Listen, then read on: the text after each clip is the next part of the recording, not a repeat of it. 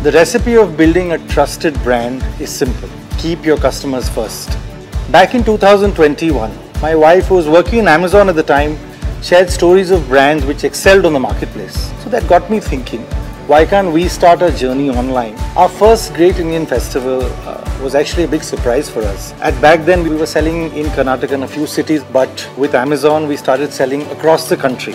Well, the preparation for the Great Indian Festival starts almost a month in advance, where we curate exquisite boxes uh, specifically listed for online. We get photo shoots done. We customize our storefront specifically so that all the festive elements are seen on the storefront.